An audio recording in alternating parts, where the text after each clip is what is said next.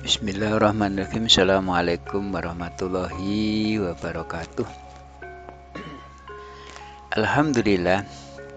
Alhamdulillah arsala waliyahum bil huda wa dinil haq. Ridhuruhu ala dini kulih wa kafa billahi syahida.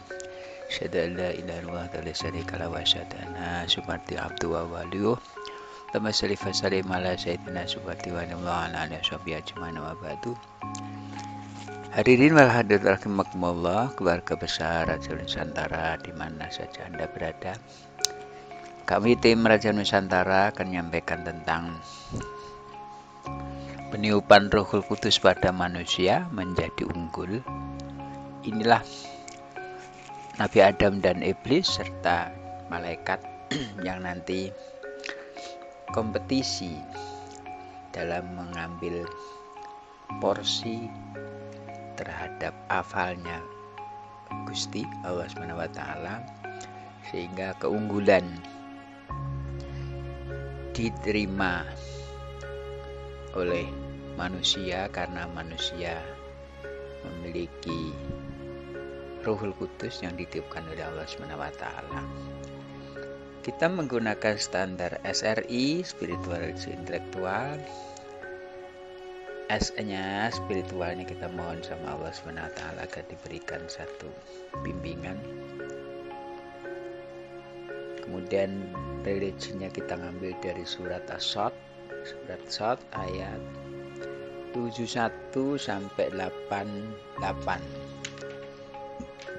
kemudian religinya kita ngambil surat 171 sampai 88 kemudian dari sisi intelektualnya kita bedah secara keilmuan sehingga memiliki akses manfaat yang besar dalam kehidupan. Harakumullah kita awali dengan Quran surat As-Sad ayat 71 sampai 88. Kami akan bacakan firman Allah yaitu surat Sad 71 sampai 88. Om billahi minasyaitonirrajim. Bismillahirrahmanirrahim. Itqala rabbuka lil malaikati inni khaliqum basyarum min tin. Faida sawaituhu wa nafakhtu fihi min ruhi. Faqa'u lahu sajidin.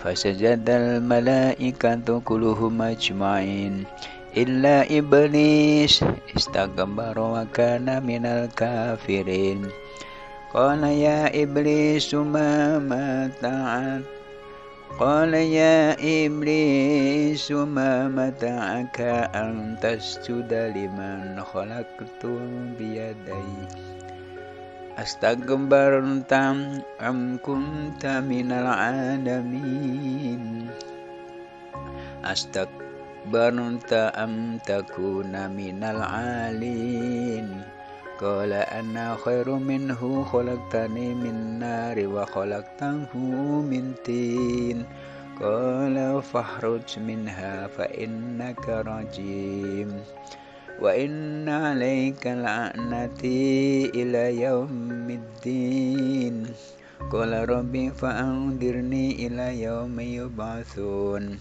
قال فإنك من المنذرين إلى يوم وعد المعلوم.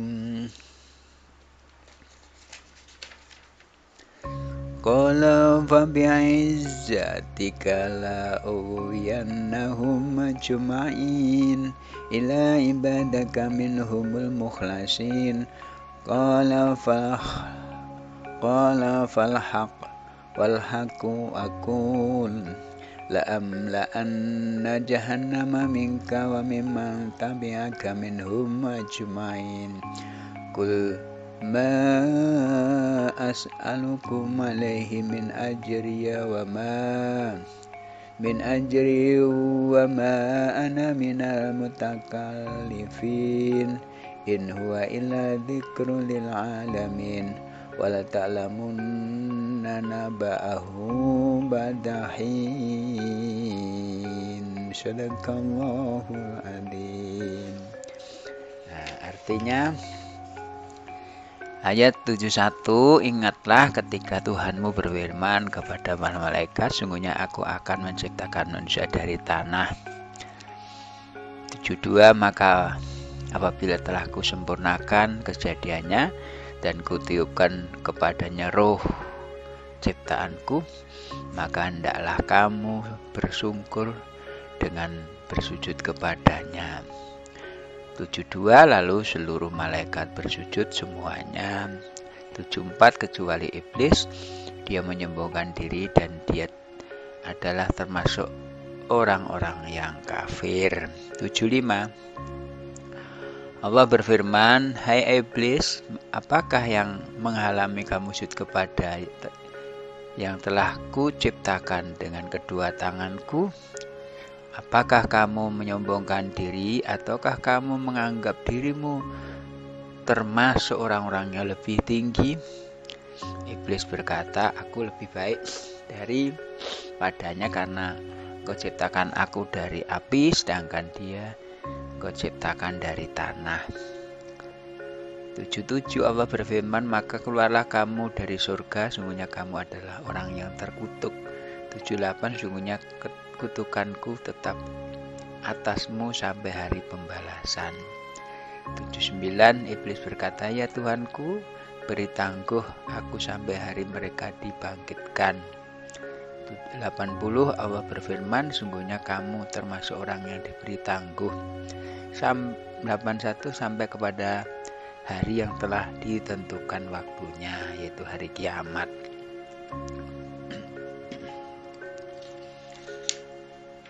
82 Iblis menjawab, Demi kekuasaan engkau, aku akan menyesatkan mereka semuanya. 83 kecuali hamba-hambaku yang mukhlis di antara mereka. 84 Allah berfirman, maka yang benar adalah sumpahku dan hanya kepada yang dan hanya kebenaran itulah yang kukatakan.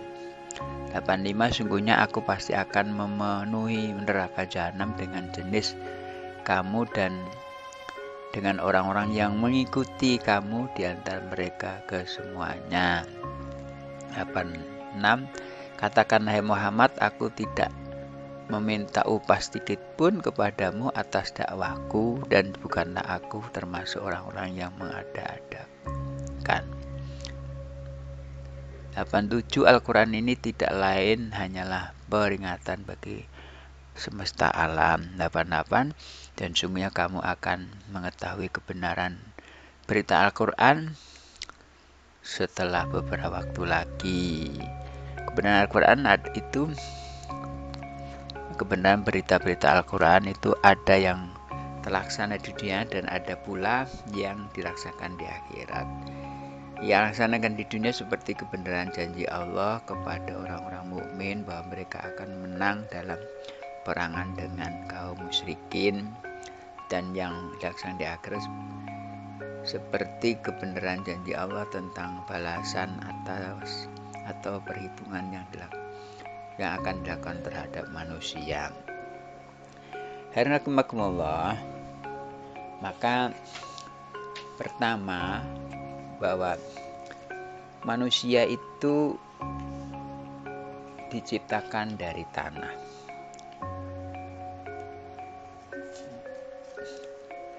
Manusia Adam itu diciptakan dari tanah. Tin. Nah, namanya tin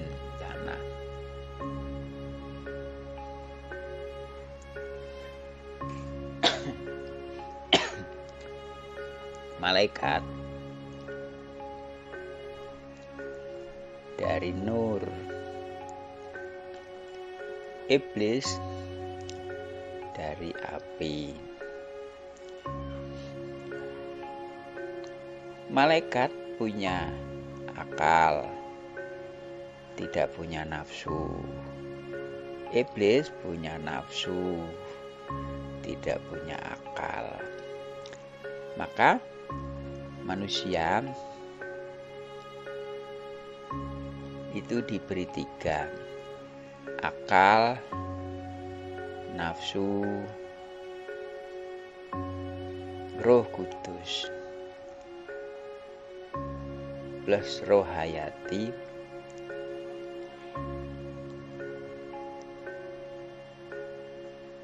Kemudian rasa dan jasad. Manusia punya lima. Satu punya roh kudus dan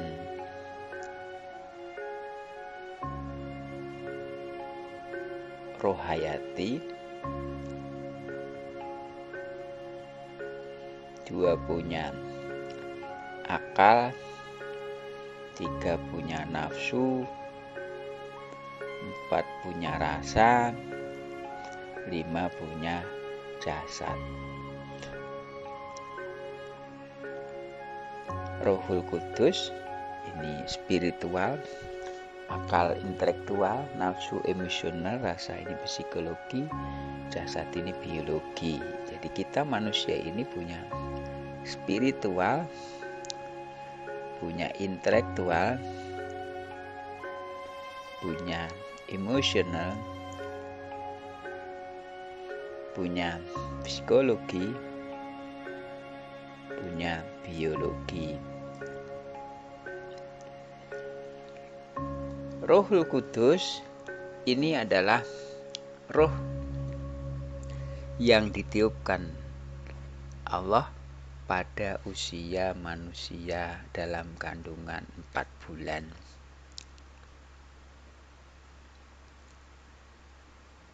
Roh hayati ini roh pertemuan sperma dengan ovum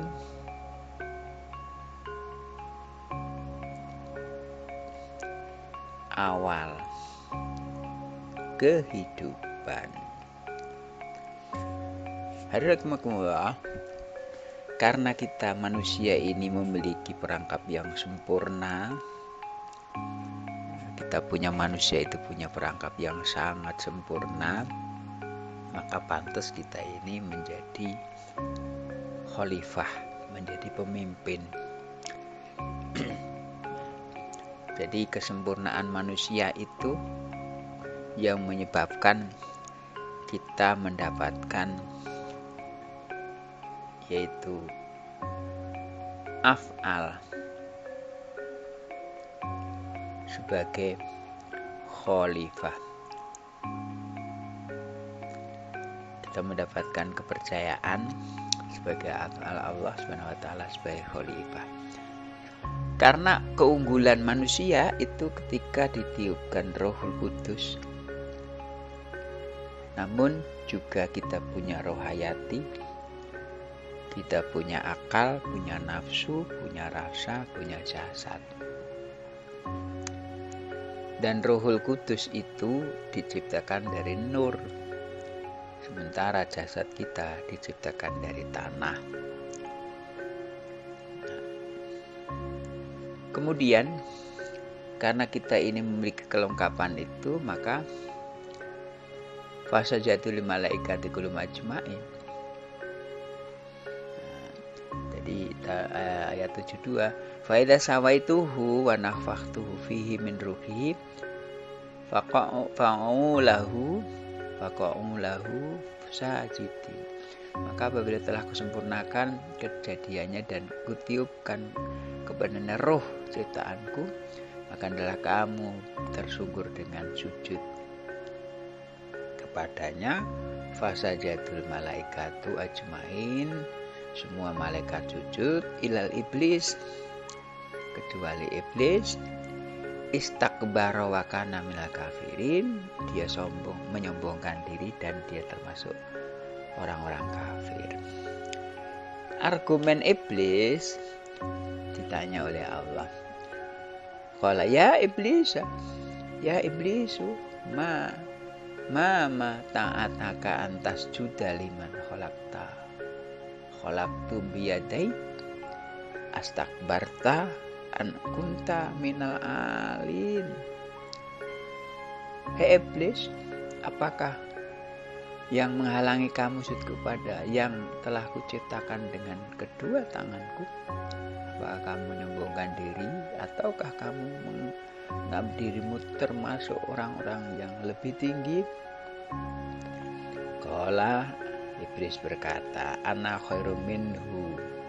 Aku lebih baik daripadanya. Khalaqtani min nar wa khalaqtahu min Iblis melihat bahwa manusia diciptakan dari tanah, balak halak tani minar, dia diciptakan dari api, wa tahu mintin, dia diciptakan dari tanah. Unsur api menurut iblis lebih baik dari tanah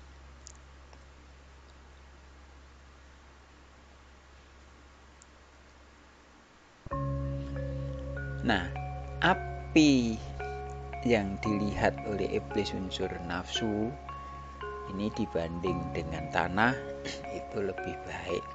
Namun iblis nggak sadar bahwa manusia tidak hanya tanah. Dia juga punya tidak hanya jasad, dia juga punya rasa, punya nafsu, punya akal dan punya roh. Harakumullah, inilah yang dilihat oleh iblis bahwa tanah itu lebih rendah dibanding api dan dia menganggap dirinya lebih baik daripada ciptaan yang lain padahal intinya bukan masalah ciptaannya tapi perintah Allah inilah yang harus dilaksanakan.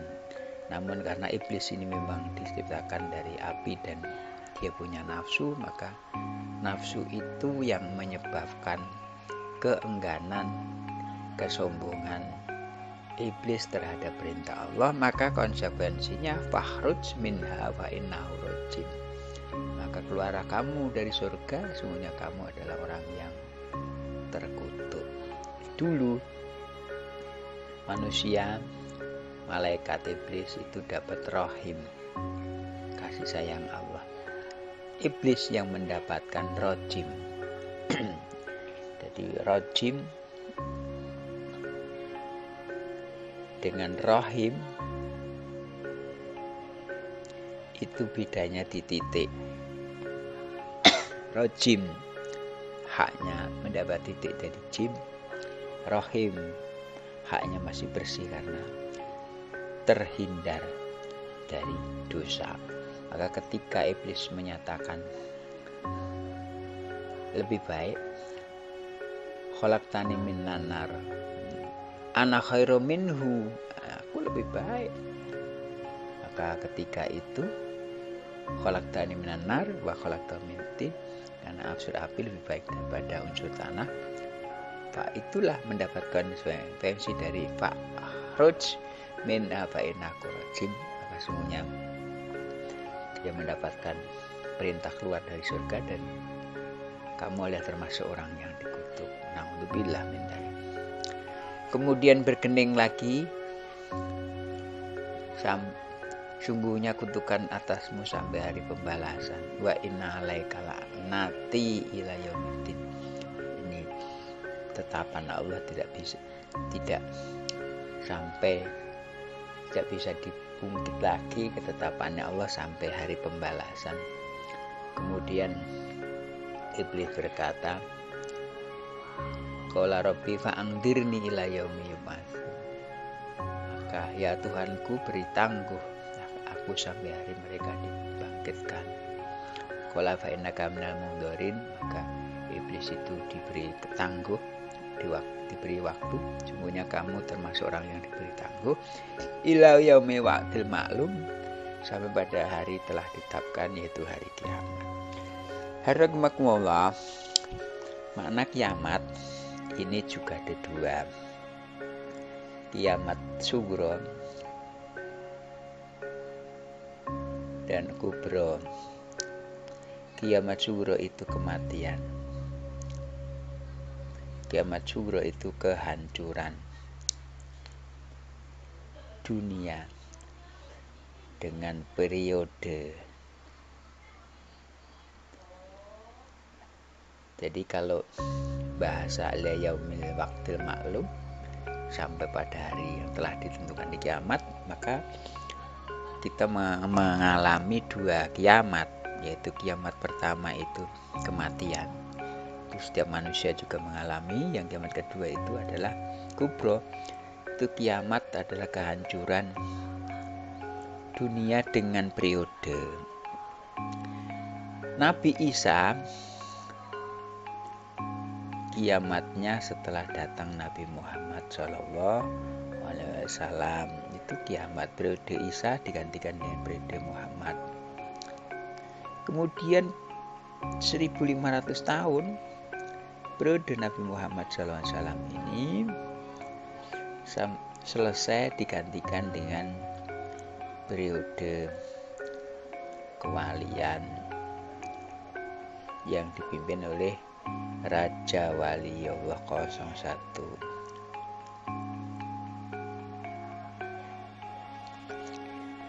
Hadrakumullah itulah kiamat. Jadi kiamat kubro itu periodik Sementara kiamat sugro itu adalah Setiap saat manusia akan sampai.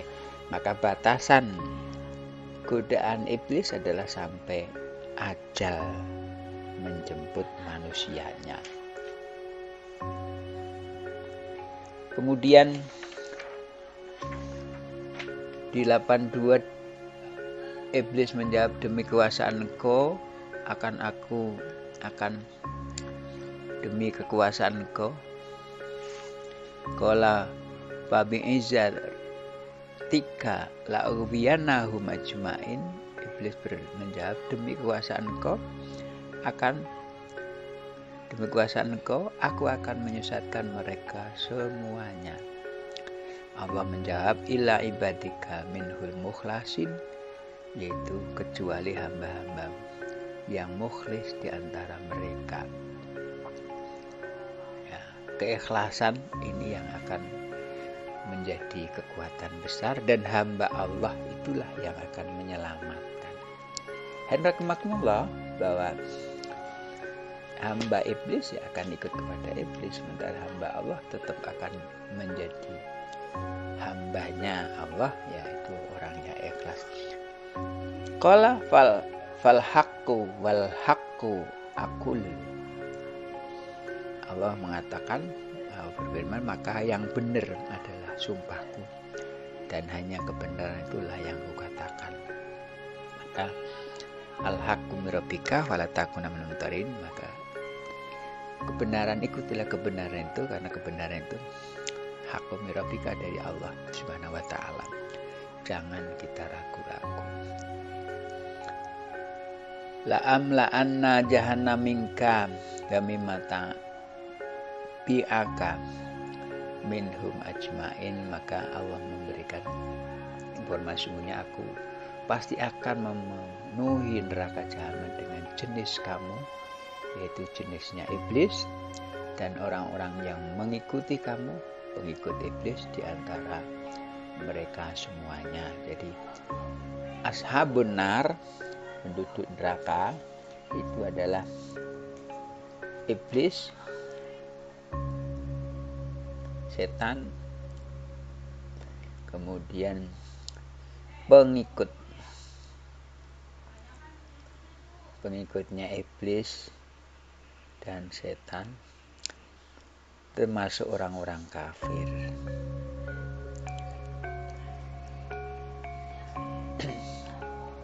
Lapan enam Kul ma, ma as'alukum alaihi min ajri wa ma ana minal mutakalifin. Katakan Muhammad, aku tidak pernah meminta upah sedikit pun padamu atas dakwahku dan bukankah aku termasuk orang-orang yang mengada-ada ini adalah ketetapan Allah Subhanahu wa taala Quran adalah validitasnya absolut kebenarannya absolut dan memang betul sampai kapan pun keabsolutan Al-Quran tetap menjadi prima dunianya dunia. In huwa illa alamin.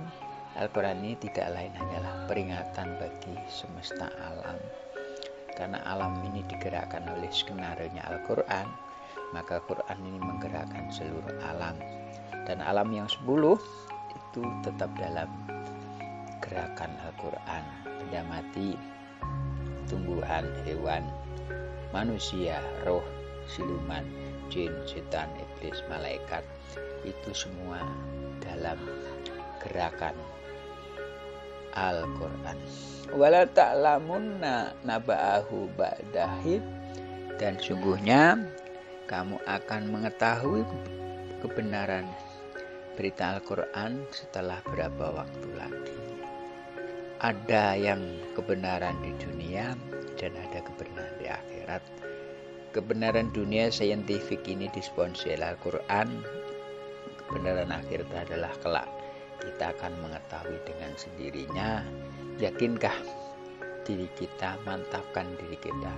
Bahwa informasi Quran itu adalah validitasnya tinggi dan kebenarannya adalah absolut. Mudah-mudahan Quran menjadi imam kita dan juga Quran itu tuntunan kita dunia sampai akhirat Barakallahu fil Qur'an azim wa fi ayati wa dzikril hakim. Taqabbala minkum wa furakum qul hada ustanakum muslimin wa muslimat. Wal mu'minina wal mu'minat fastaghfiru rahim. Subhanallah wa salam. Wa akhiru da'wahum alhamdulillahi alamin. Assalamualaikum warahmatullahi wabarakatuh